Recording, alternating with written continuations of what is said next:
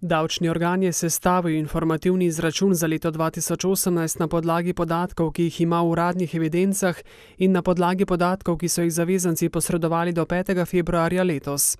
Kdor napovedi ni prejel, mora torej napoved vložiti sam.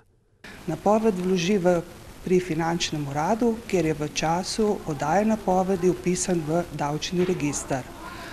Obrazec napoved za odmero dohodnine je dostopen na vseh finančnih uradih, kakor tudi na spletni strani. Napoved je možno oddati v papirnati obliki, osebno ali po pošti, ter v elektronski obliki prek e-davkov ali mobilne aplikacije.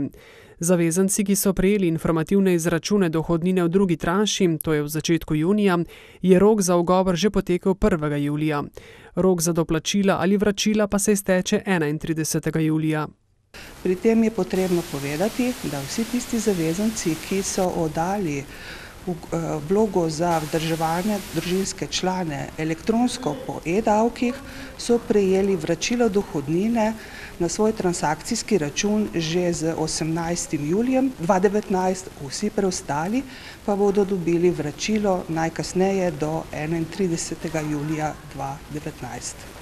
18. julija je tako na ravni celotne države šestinšestdeset tisoč sedemsto dvainšestdeset zavezancev prejelo vračilo dohodnine.